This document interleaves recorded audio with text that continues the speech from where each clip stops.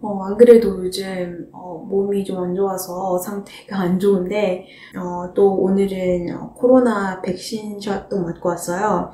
어, 뉴욕은 지금 뉴욕에 거주하고 어, 30세 이상이면은 백신 샷 맞을 수 있거든요. 어, 이게 맞을 때는 아무 느낌 없는데 이게 어 근데 이게 지금 맞은 지 몇 시간 지났는데 어깨가 되게 욱신거리고 어, 별로 기분이 좋진 않네요. 음, 아무튼 오늘은 가장 인기 높고 어, 조회수도 가장 안 나오는 어, valuation 모델링에 대해서 어, 쿠팡을 예시로 한번 해볼 건데요. 어, 특히 실무에서 쓰이는 모델링은 정말 어디 가서 돈 주고도 못 배우는 건데 그래도 또 누군가는 해야 되지 않겠나 싶어서 어, 이제 쿠팡을 예시로 해볼 건데 어, 제가 일단 제목은 뭐 월가의 시선, 뭐 월가 애널리스트가 보는 쿠팡이라고는 했지만 어, 사실 이게 약간 어폐가 있는 게 뭐 월가의 view라기보다는 어쨌든 지금 보면 뭐 골드만이던 뭐 모건이던 뭐 어디든 지금 보면 이게 다 서울 오피스에 있는 어, 한국 애널리스트들이기 때문에 어, 이게 사실 뭐 크게 그렇게 다르진 않죠. 사실 엄밀히 따지면 이게 어, 월스트리트 view라기보다는 어, 그냥 외국계 증권사가 보는 쿠팡이라고 보는 게 더 맞겠죠. 어, 일단 그리고 쿠팡에 관심 없어도 어, 이런 비슷한 이커머스 기업에 대해서 valuation을 할때 어, 이런 비슷한 프레임으로 어, valuation을 접근할 수 있기 때문에 제가 그동안의 예시들은 아주 간단한 주가 배수로 하는 것도 했었고 그리고 이베다 이베다 멀티플 사용해서 어, 기업 가치 계산하고 순부채 차감해서 주주 가치를 산정하고 거기 거기에서 적정 주가를 산정하는 그, 어, 그 프레임으로 갔었는데, 이번에 쿠팡을 하는 것도 크게 다르진 않아요. 기업 가치를 계산하는 것 자체를 이번에는 이베다를 쓰지 않고, 어, sales, 어, 아니면 GMV라고, 어, 이거는 이커머스 관련 용어인데, 이거 나중에 이따가 설명을 하겠지만, 어, 이 GMV, GMV multiple 사용해서 기업 가치를 내는 방법을 해볼 거예요. 아, 지금 몇 대가 지나가는 거야.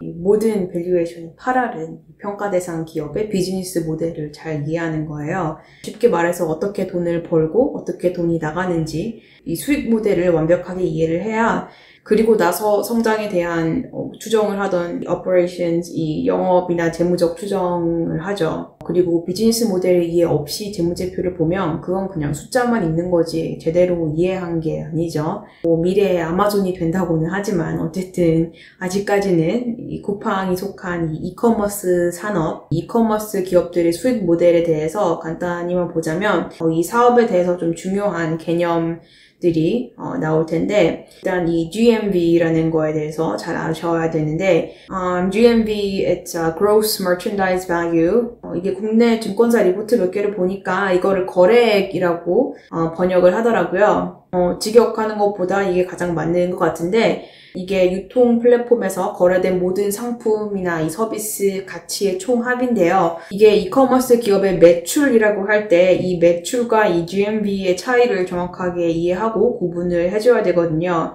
그리고 모델링을 할 때도 이게 중요합니다. 그래서 이 GMV는 이 해당 이커머스 플랫폼에 있는 모든 상품들의 가격 그리고 총 판매량을 곱해서 나온 정말 말 그대로 gross merchandise value인데 이게 기업이 최종적으로 인식하는 어, 수익하고 다르기 때문에 어, gross revenue라고도 해요.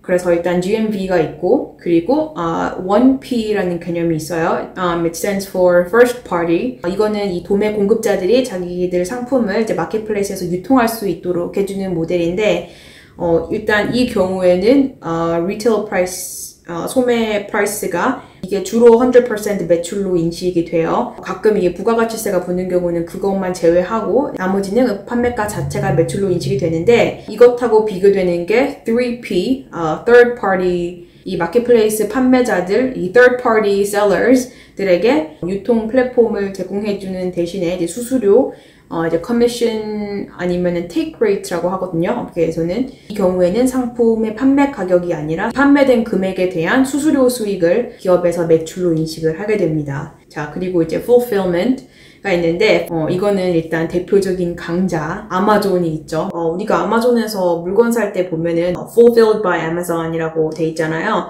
그러면은 아마존이 seller를 대신해서 뭐 재고 처리부터 시작해서 재고 보관, 수주, 발송 처리, 배송까지 다 전부 대행해 준다는 뜻이죠. 어, 자, 그래서 이게 다 뭔 말인지 왜 이해를 해야 되느냐? 지금 쿠팡의 수익 모델을 보면은 크게 세 가지로 나눌 수가 있는데 어, 일단 첫 번째 그리고 가장 큰 비중을 차지하는 이 1P, 어, 이 1P retail 비즈니스가 있고요. 어, 이게 이제 쿠팡의 유통 모델. 어, 여기서 쿠팡이 뭐 로켓 배송 서비스도 해주고 그리고 이 재고 관리에 대한 리스크 같은 경우는 이제 쿠팡이 자체적으로 부담을 하는 모델이고 그리고 쿠팡 입장에서 순 매출 인식은 어, 이 1P GMV에서 90%를 매출로 인식을 합니다. 그리고 현재까지는 좀 더 작은 비중으로 어, 3P 비즈니스 이게 이제 marketplace 개념인데 어, 이 중에서도 fulfillment 어, 물류 서비스를 seller가 부담하는 경우가 있고 어, 이 경우에는 쿠팡이 인식하는 매출이 어, 이 3P GMV의 9% 그러면은 쿠팡이 이 3P marketplace에서 어, 판매되는 이 물건들, 이 상품들 GMV에서 9%를 어, 순 매출로 인식을 하게 됩니다. 그리고 또 이 물류 처리 그리고 배송을 쿠팡이 대행하는 경우 그 경우에는 수수료가 더 높죠. 이게 한 25%에서 35% 수수료 take rate이라고 해요. 그리고 어, 좀 비교적 최근 론칭 됐다는 이 쿠팡 이츠, 이 우버 이츠 따라한 것 같은데 이건 역시 수수료 수입으로 인식하는 게 이 GMV에서 어, 20-25% take rate. 어, 일단 애널리스트마다 각 IB마다 어, valuation 접근 방법이 다 다른데 어, 골드만 같은 경우는 지금 어, 10 years worth of cash flow 가져와서 어, DCF 했어요. 그리고 2022년 GMV를 가져와서 여기서 이제 쿠팡하고 비교 대상이 될 만한 유사 기업들의 평균 GMV multiple을 봐서 여기서 적정한 배수 선정을 해서 배수 적용을 하고 기업 가치를 산정하고 거기에서 이제 적정 주가까지 나왔는데 뭐 목표 주가야 다 뭐 천차만별이지만 항상 말씀드리다시피 어, 애널리스트 리포트를 볼 때 목표 주가 자체는 딱히 큰 의미는 없고 이게 뭐 매수 매도 의견 인지 뭐 중립인지 그리고 의견 조정이 있었는지 그런데 이번 리포트 같은 경우는 이게 어, initiation report이기 때문에 일단 이 투자 의견 자체만 봐도 이게 쿠팡은 물론 이제 한국 이커머스 사업에 대해서 각자 어떻게 생각하는지가 다 나오는데 이들이 어떤 가정을 써서 왜 그렇게 생각하는지 그래서 어떻게 해서 이 성장 모델이 나왔는지 어, 보는 게 중요합니다. 어, 골드만 같은 경우는 쿠팡 현재 2020년 기준 어, GMV가 19 billion dollars 여기에서 2025년까지 어, 125 billion까지 성장을 하고 그리고 얘네는 지금 10년치 모델을 했는데 2030년까지 어, 220 billion dollars 어, GMV에 도달할 거라고 해요. 이게 10년치 연평균 성장률로 보면은 28% 성장하는 셈이 되고 이거를 국내 이커머스 시장 전체 성장률로 비교를 하자면은 향후 10년 동안 13%를 잘하는 것 대비해서 거의 한 두 배 이상 빠르게 쿠팡이 성장할 거라고 가정을 하고 있습니다.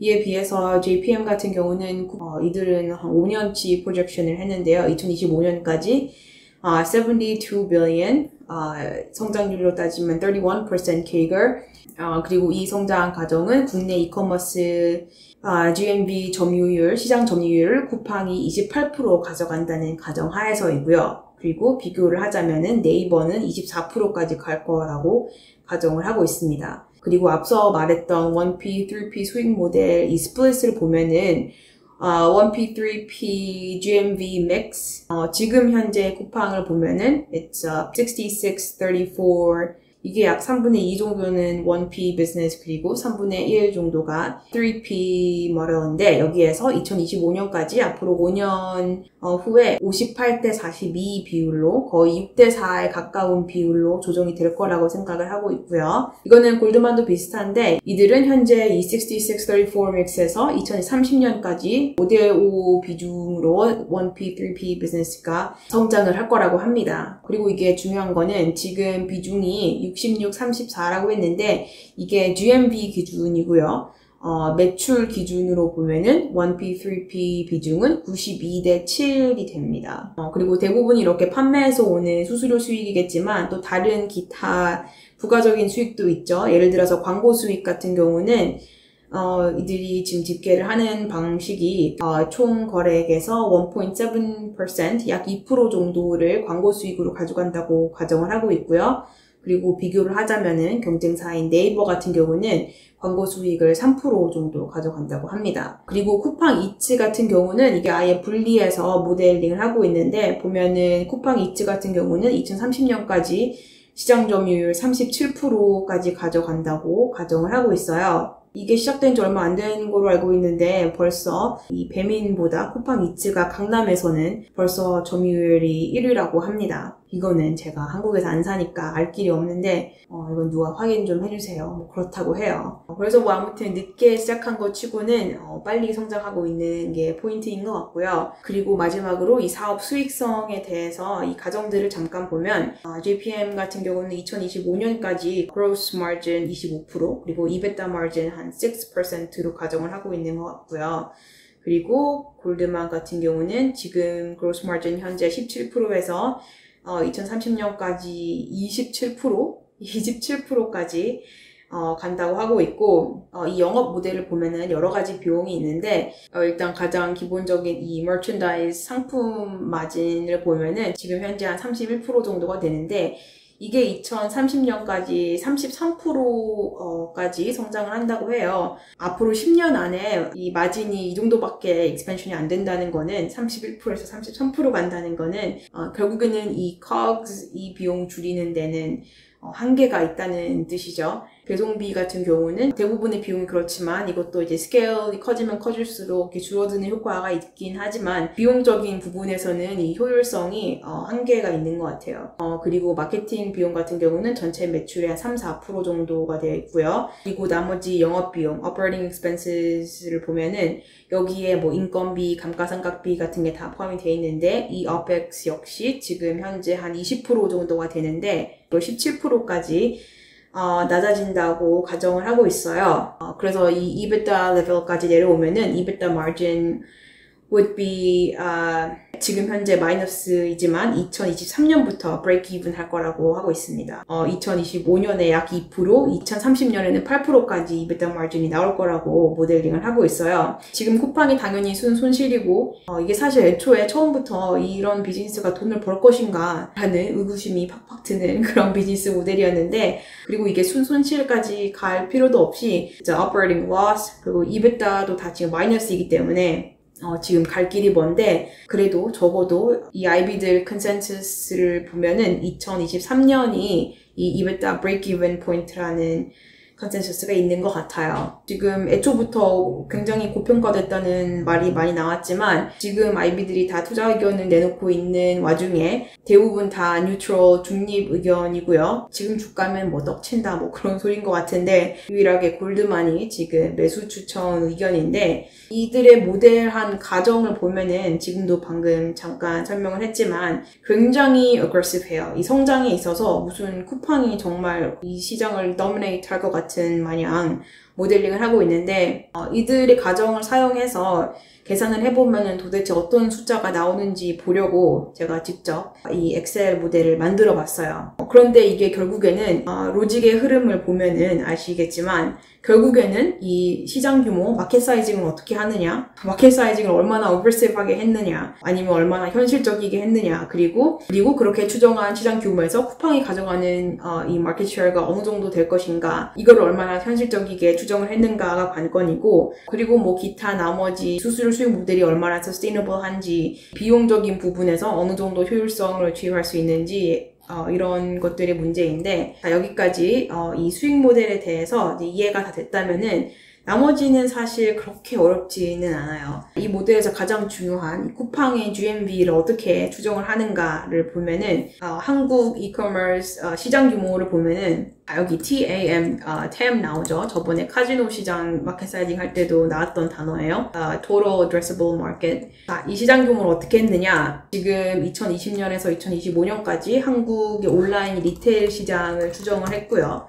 지금 어, 현재 121 billion dollars 2020년 기준으로. 근데 여기서 2021년 어, 올해까지의 성장률이 35%, 그 다음에 20%, 20%, 15%, 11% 굉장히 빠르게 가파르게 성장을 하고 있는데 이 온라인 리테일 시장이 2025년 uh, 298, 약 300, 300 billion dollars 규모의 시장으로 성장을 할 거라고 가정을 하고 있어요. 이게 지금 한국 유통시장 전체 시장 규모예요. 앞으로 5년 후에. 아, 그리고 이것과는 별개로 또 한국 온라인 식품 시장 어, 마켓 사이징을 하는데 이것도 굉장히 significant 한 게 일단 식품을 제외한 리테일 시장보다 성장률이 더 높아요. 지금 보면은 54%, 23%, 22%, 16% 이렇게 해서 지금 현재 15 billion dollar 시장이 2025년까지 47 billion dollar 식품 시장으로 성장을 한다고 해요. 한국 market sizing을 할 때. 참고로 지금 이 모든 숫자가 GMV 기준으로 보는 거죠. 지금 GMV 구하고 있으니까. 자, 그럼 이 중에서 쿠팡이 가져가는 건 얼마냐? 자, 일단 쿠팡 retail GMV를 보면은 한국 전체 온라인 retail 시장의 15% 정도의 점유율이에요. 지금 현재 올해 20%, 내년에 25%, 29%, 뭐 30% 넘어가서 이렇게 시장 점유율이 성장을 해서 2025년까지 38% 시장 점유율을 달성한다고 해요. 어, 그렇게 해서 이제 쿠팡이 GMV가 나왔고 이거를 이제 세부적으로 아까 말한 1P, 3P 비즈니스로 이제 구분을 해줘야 되는데 이 breakdown 어떻게 하느냐 어, 지금 쿠팡 전체 retail 비즈니스에서 이 1P가 차지하는 비중이 66%라고 했었죠. 그럼 방금 계산한 GMV에서 이 1P 비즈니스 어, 66%인데 앞으로 5년 후는 어, 56%까지 낮아지고 왜냐면 3P 비즈니스가 성장을 할 거니까 어, 그러면은 전체 GMV에서 그 share만큼 가져가요. 그래서 여기 1P GMV가 나오고 그리고 이제 3P를 따로 계산해줘야 되는데 이거를 어떻게 했냐면 보니까 매년 연간 성장률을 적용을 해서 이제 커져가는 모델인데 이 성장률을 어떻게 계산하느냐. 예를 들어서 2021년 올해까지 작년 대비 73% 성장을 할 거라고 하는데 아까 한국 전체 이커머스 시장 규모 GMV가 나왔었잖아요. 한국 전체 이커머스 시장이 성장하는 이 성장률 여기서 가정한 이 성장률에서 어, 배수를 적용을 했는데 지금 쿠팡이 시장 전체보다 한 2에서 3배수로 시장보다 2배, 3배 더 빨리 성장을 할 거다라고 가정을 하고 있는 거고요. 그래서 예를 들어서 시장이 한 35% 성장을 했으면 어, 쿠팡은 9배수 적용해서 만 70% 정도 어, 성장을 했다고 지금 가정을 하고 있는 거고요. 그런 식으로 시장 대비 어, 얼마나 더 빠르게 성장을 하는가 이 가정으로 향후 5년치 어, 쿠팡의 3P GMV를 추정을 했습니다. 그리고 마지막으로 아, 쿠팡 이트 이거는 아까 계산했던 한국 전체 온라인 식품 시장 온라인 식품 시장에서 얼마만큼의 시장 점유율을 가져가는가 어, 예를 들어서 지금은 전체 시장의 3%밖에 아닌데 앞으로 어, 10%까지 성장하고 15% 20% 이런 식으로 해서 2025년까지는 25%의 시장 점유율을 가져간다라고 가정을 하고 있어요. 이렇게 해서 1P GMV 나오고 3P GMV 그리고 쿠팡 Eats GMV 이렇게 나와서 이거를 다 롤업해서 얻은 이 총합이 쿠팡 전체 GMV가 나오는데 어, 이런 식으로 성장을 한다고 가정을 하면은 2025년까지 125 billion dollars가 나와요. 어, 이게 성장률로 보면은 5년 5-year CAGR가 46%, 46% 성장률이 나와요. 이 성장 모델 전체를 드라이브하는 게 이 GMV 수치인데 이 톱라인 수치가 굉장히 어, 높아서 성장률이 굉장히 높잖아요. 이게 정말 가능한 것인가 라는 어, 생각이 들 정도로 어, 너무 어버시브한 것 같은데 아무튼 이들은 이렇게 가정을 했어요. 그래서 아무튼 이들의 이 thought process를 따라가 보자고요. 이 한국 이커머스 시장 전체의 마켓 사이징은 뭐 이것도 어, 이것도 굉장히 빠르게 성장하는 것 같긴 하지만 이건 뭐 그래 그렇다 쳐도 여기에서 쿠팡이 가져가는 점유율이라든지 그리고 시장 대비 쿠팡이 어, 성장하는 속도라든지를 보면은 이게 정말 이게 2배수 3배수가 과연 적정한가라는 생각이 들고요. 그리고 시장 점유율도 거의 이제 네이버를 앞서겠다는 건데 5년 안에 이렇게 GMV 계산을 했고 그러면 이제 쿠팡이 인식하는 매출 계산을 해줘야 되는데 이거를 어떻게 하느냐 방금 전 우리가 공부했던 1P, 3P 모델에서 어떻게 매출 인식을 하느냐 알아봤었잖아요. 이제 각각 수수료가 달랐는데 1P 같은 경우는 1P revenue가 전체 GMV의 90%를 매출로 인식을 한다고 했죠. 20%가 그냥 세금 떼고 다 가져가는 것 같아요. 그냥 부가가치세 제외하면은 결국에는 GMV 전체를 다 이제 매출로 거의 대부분 인식하는 셈인데 그래서 1P revenue는 쉬워 이렇게 해서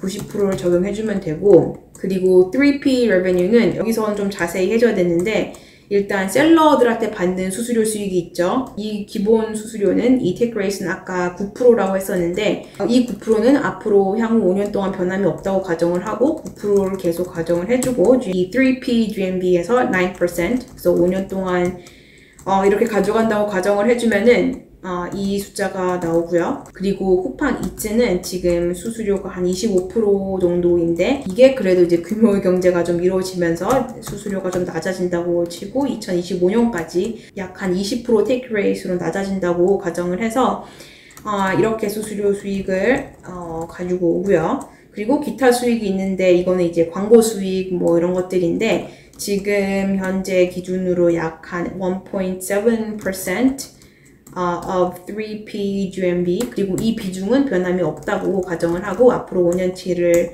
uh, 동일하게 프로젝트 해주면 되고요. 그리고 또 이제 멤버십 수익이라는 게 있죠. 아, 멤버십 이게 보니까 어, 월 멤버십이 2,900원이더라고요. 월 2,900원 그리고 12개월치 해서 이제 1년치 멤버십 비용을 계산을 해주고 그러면은 쿠팡이 얻는 이 멤버십 수익이 전체 얼마가 되나 지금 보면 쿠팡 전체 유저 수가 있죠.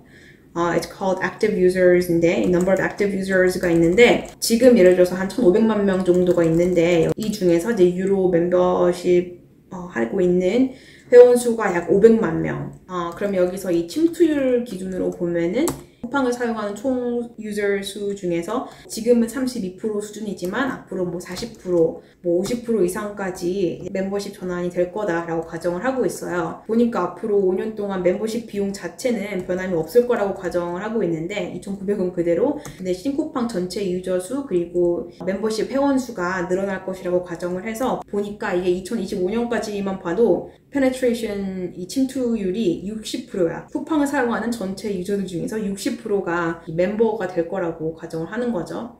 이것도 나는 한국에 있지도 않고 쿠팡을 사용하지 않기 때문에 이 쿠팡을 한번 사용하면 이게 얼마나 loyal하게 되는지 잘 모르겠지만 이게 보면 아마존 프라임도 이 정도 penetration rate는 아닌 것 같은데 글쎄요 어쨌든 굉장히 싸고 이게 뭐 로켓 배송 이런 것까지 포함이 되는 비용이라면은 뭐 그럴 수도 있다는 생각이 들기는 합니다. 그리고 이제 비용적인 부분을 보면은 이제 매출 원가, COGS를 보면은 이것도 매출 원가라고 하지만 이제 두 가지 어, type of 비용 이 있죠. 하나는 이 상품 자체의 cost, 말 그대로 매출 그 원가, 어, product cost가 있고 그리고 여기에 배달 비용도 일부 포함이 된다고 해요. 그래서 이 두 가지 비용을 앞으로 5년치를 추정을 해주고 이거는 이제 매출에 대해서 어느 정도 비중을 차지하는가 뭐 70%, 75% 이런 식으로 가정을 해주고요. 그리고 delivery cost, 어, 배달비 같은 경우는 어, 14, 15% 정도 선에서 계속 유지가 되는 거로. 어, 그래서 이제 gross profit, gross margin이 나오고 어, 우리가 지금 적어도 200달까지 계산을 할 건데 정말 2023년까지 200달 break even이 될 것인가를 보고 싶어서. 그래서 이제 gross profit에서 이제 SG&A 비용을 빼줘야 되죠. 어, 판관비 비용을 빼주면은 그러면은 operating income이 나오는데 여기 판관비 SG&A 포함이 된 비용이 또 뭐가 있냐 따지고 보면은 어, 여기에 이제 마케팅 비용 그리고 어, 기타 operating expenses가 있는데 여기에서 말하는 이 operating expenses 쿠팡의 이 영업비라고 하는 게 뭐가 포함이 되는가라고 보면은 뭐 여러 가지가 있어요.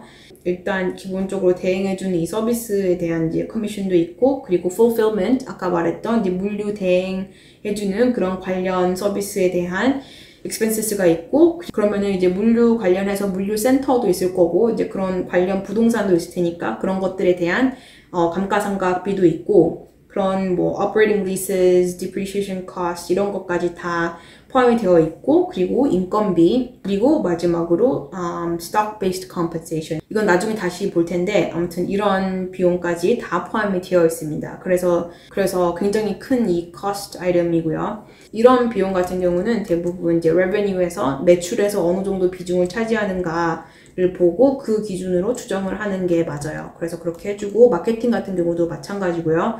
그래서 아까 구한 이 gross margin에서 SG&A expenses 다 빼주고 이제 operating income이 나오죠. 이 operating income 라인을 보면은 다 지금 마이너스죠. 다 마이너스 마이너스 마이너스 그리고 이제 2025년에 가서야 겨우 이제 플러스가 되는데 어, 아무튼 영업 마진은 이제 그렇다고 치고 우리는 지금 200달을 보고 싶으니까 그러면 이 숫자에서 200달까지 가려면은 그동안 우리가 회계적으로는 차감을 해줬던 이 non-cash expenses 어, 이 비현금 비용이라고 하나?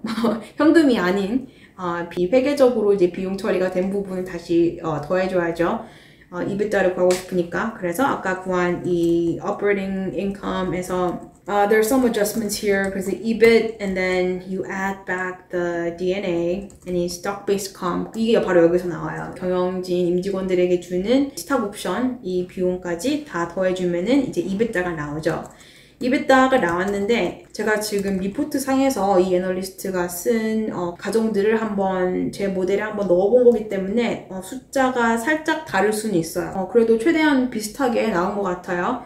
제가 계산한 바로는 이, 어, 2022년도에 어, EBITDA가 플러스가 되고요. 어, 아무튼 이렇게 5년치 cash flow projection을 했어요. 일단 여기까지 했는데 이건 정말 최대한 간단하게 빠르게 어, 주어진 정보를 사용해서 이 정도까지가 됐는데 어, 왜냐면 정말 제대로 하려면은 마켓 사이즈도 내가 직접 해야 되고 내가 직접 리서치를 해서 제대로 된 시장 규모도 계산을 하고 해야 되지만 이거는 뭐 제대로 보고 있는 기업도 아니고 그럴 시간도 없었으니까 일단 이 애널리스트들이 한 어, 마켓 사이즈를 가져왔는데 이렇게 해서 5년치 어, GMV, 5년치 revenue, 그리고 operating income, EBITDA까지가 나왔어요. 어, 골드만 같은 경우는 지금 여기에서 5년치가 아니라 10년치 projection을 했고요. 어, 아예 free cash flow 수준까지 가서 free cash flow projection을 어, 2030년까지 free cash flow projection을 해서 이 10년치 어, 현금 흐름에 대한 어, discount cash flow를 해서 valuation을 했어요. 그런데 저는 그렇게 하지 않을 거예요. 나는 DCF를 별로 좋아하지 않고 특히 이렇게 성장에 대해서 약간 의견이 갈리는 이런 성장주 같은 경우에는 10년치 cash flow를 본다는 게 별 의미가 없다고 생각하기 때문에 어, 그거는 skip하기로 하고 어, 사실 여기서부터 가장 현실적인 방법은 지금 일단 여기까지 성장 모델이 적정한가에 대한 이것 체크를 하는 거랑 그리고 그리고 가장 이 comparable companies 제대로 된 비교 대상군을 build해서 이들의 컴스를 보고 적정 이제 기업 가치 배수를 적용하는 게 가장 어, 합리적인 것 같은데 그래서 그렇게 해보자면은 사실 2025년까지 갈 필요도 없죠. 당장 한 forward 1 to 2 years 2022년까지의 추정치를 보고 여기에서 multiple 적용을 하면 되는데 2025년까지 본 이유는 뭐냐? 그러면은 2022년이고 언제고 간에 지금 쿠팡 valuation은 기본이 되는 수치들을 적용을 하는데 적어도 한 5년까지의 성장 모델이 말이 되느냐를 봐야 되는데 지금 다시 리뷰를 해보자면은 지금 보세요. 이 모델에 따르면은 쿠팡의 GMV는 5년 안에 46% 성장을 할 거고요. 어, 그것도 그냥 40%가 아니야. annualize 된 게 46%예요. 19 billion에서 125 billion 간다니까. 지금 단순 계산을 하면은 몇 배가 성장을 하하는 거야. 한 6배, 7배 이상 커진다는 건데 그 GMV만 보면은 그렇고 그런데 지금 매출만 봐도 어, 2025년까지 케이글 annualize 41% 성장을 하고 있다고 가정을 하는 거고요. e-commerce, 이 침투율 같은 경우는 뭐 말할 것도 없고 그리고 이 수수료 수익, 이 take rate 이게 과연 적정한가에 대한 어, 디베이트도 있고 그리고 각 세부 사업 부분별 성장률이나 penetration rate에 대해서도 생각을 좀 해봐야 되고요. 어, 왜냐면 아까 계산해봤듯이 지금 비용적인 부분에서는 이 비용을 compress 하는 데는 한계가 있어. 원래 유통업이 그렇게 돈을 벌 수 있는 구조가 아니기 때문에 굉장히 margin pressure가 심한 그런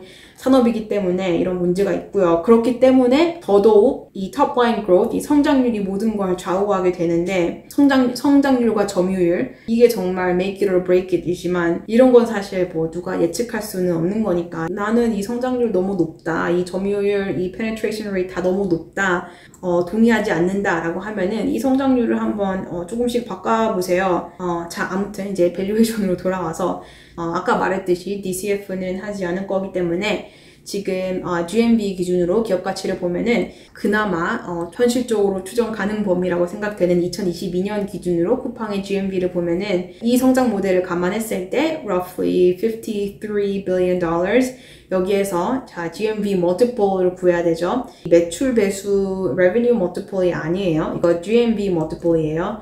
이거를 적정 멀티플을 어떻게 구하느냐? 자, 이제 컴스를 봐야죠. 비교 대상이 될 수 있는 가장 유사하다고 생각되어지는 기업들이 이런 것들이 있는데, 자, 일단 쿠팡이 따라가고자 하는 아마존, 알리바바, 뭐 JD.com, eBay, 뭐 DoorDash도 있고 Mercado, 뭐 네이버도 있고 여러 개가 있어요. 아, 여기에 보기 쉽게 정리가 되어 있는데 이 표를 보면은 지금 시총 그리고 기업 가치가 나오는데 지금 우리가 보고 싶은 거는 기업 가치 대 GMV 이 multiple이에요. EV to GMV multiple. 사실 더 정확하게 비교를 하려면은 그냥 기업 가치만 가져가면 되는 게 아니라 사실 이 기업들이 사업 모델을 보면은 전부 다 쿠팡처럼 100% 이커머스를 하는 기업들은 아니잖아요. 뭐 아마존만 보더라도 보면은 전체 사업에서 이커머스가 차지하는 비중은 66%예요.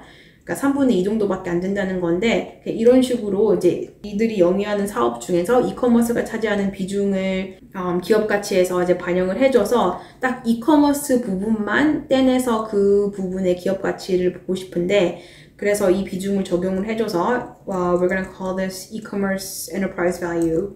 어, 일단 이 숫자들을 킵해두고 그리고 이 기업들의 GMV가 있는데 이거는 이제 street consensus를 쓸 건데 지금 애널리스트들이 추정한 이 기업들의 2021년 그리고 2022년 GMV가 있어요. 그래서 각각의 GMV가 있고 우리가 구하고 싶은 거는 EV to GMV multiple 어, 그런데 그냥 EV가 아니라 e-commerce EV, right? So 여기에 있는 이 column 숫자랑 어, 2022년 기준으로 보고 싶으니까 이 숫자를 나눠줘서 지금 EV2 GMV multiple 지금 이 숫자들을 보시면 되는데 지금 보시다시피 1, 어, 1을 넘어가는 그리고 심지어 2에 가까운 배수는 아마존밖에 없고 나머지는 다 뭐 0.3, 0.5, 0.8, 뭐 커봤자 0.9 막 이 정도 수준이에요. 그래서 그냥 샘플 average 평균만 보면은 0.7, 어, 0.7 times가 있는데 이거를 적용을 하느냐? 그거는 아니죠. 그냥 쿠팡에 그대로 적용하지는 않고 이런 경우에는 이 샘플 average 그냥 평균 머티플을 가져가다 쓰는 게 아니라 이들의 각각의 GMV 성장률 그리고 뭐 매출 성장률을 봐도 되고 한 2year CAGR만 보면은 지금 이 정도 성장률이 나오는데 이게 딱 봐도 아까 우리가 계산한 쿠팡의 성장률보다 훨씬 낮잖아요.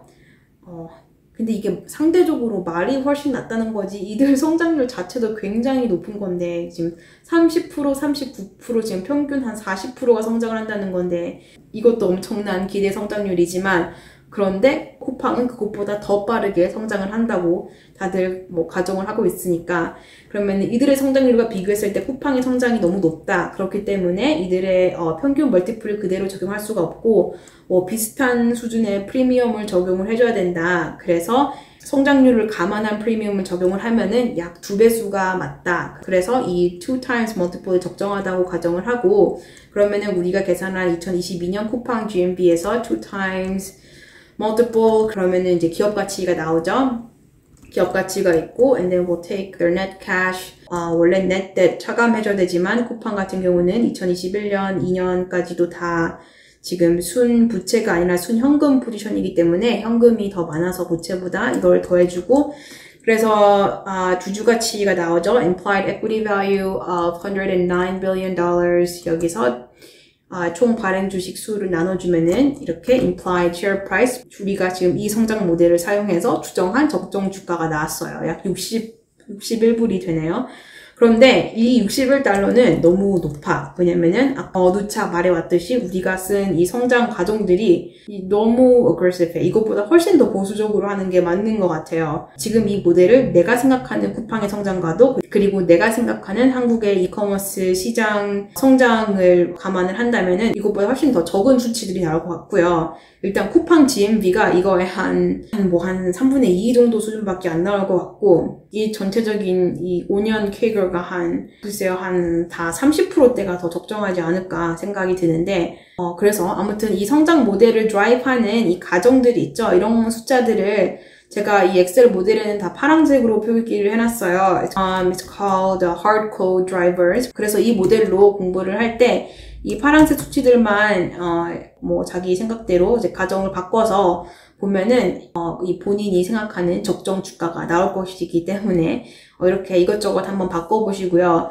이 JP 모건 애널리스트가 추정한 GMV를 사용을 하면은 똑같이 2배수를 적용을 해도 이 GMV multiple 2배수를 적용을 해도 적정 주가가 어, 한 47불이 나와요. 어, 47불이면은 maybe this makes more sense. 나는 이것도 높다고 생각이 되지만 어, 뭐 아무튼 쉽고 최대한 쉽고 빠르고 간단 간단하게 모델링을 하는 방법이 여기 이렇게 있습니다. 이 엑셀은 제가 멤버 자료실에 올려둘 테니까 한번 참고를 하시고 valuation 모델링 해보고 싶은 사람들은 이거를 가져가서 뜯어보면서 어, 좀 생각을 하고 생각을 하면서 본인이 생각하는 이 성장 모델을 다시 만들고 다시 만들어서 어, 이대로 계산을 해보면 돼요. 이런 것도 처음 볼 때만 어렵고 복잡하지 이거 뭐 한 천 개 정도만 만들어 보면은 어, 이제 눈 감고도 합니다. 어, 그리고 제 채널을 어, 뭐 현직 증권사 분들이나 뭐 IB 취업 준비하는 분들이 많이 보는 거로 알고 있는데 이런 거 이런 valuation 모델 정말 제대로 하고 싶다면 이런 거는 정말 남이 한 모델을 백날 봐도 아무 의미 없고 이게 막상 남이 하는 거 볼 때는 아니면 이미 남이 만들어 놓은 엑셀 모델을 볼 때는 아 이거 뭐 쉬운데 할 수 있겠는데 하다가도 막상 자기가 처음부터 아예 백지에서 시작하려고 보면은 어, 그게 쉽지 않아요. 그러니까 제가 추천하는 방법은 제가 간단히나마 만들어 놓은 이 엑셀 모델을 그냥 가서 보지 말고 다 지워요. 이걸 다 지워서 그냥 make a blank sheet 다 처음부터 다시 한번 해봐. 백지 상태에서. 정말 from the scratch 혼자 다시 이거를 다 재구성할 수 있다면은 그러면은 정말 모델을 진짜 이해한 거야. 이걸 혼자 recreate 하지 못하면은 어, 그거는 모델을 제대로 이해한 게 아니야. 어, 뭐 아무튼 그렇습니다. 어, 그리고 마지막으로 꼭 쿠팡에 관심이 없더라도 어, 웬만한 이커머스 기업들은 이런 식으로 valuation을 하니까 뭐 다른 자기가 관심 있는 기업들 이런 식으로 모델링을 해보는 어, 그런 연습도 해보면 좋을 것 같아요. 참 이런 게 뭐 저는 재밌는데 전혀 재미없을 수 있으니 정말 재미없을 수 있는 이 컨텐츠를 여기까지 봐주셔서 감사합니다.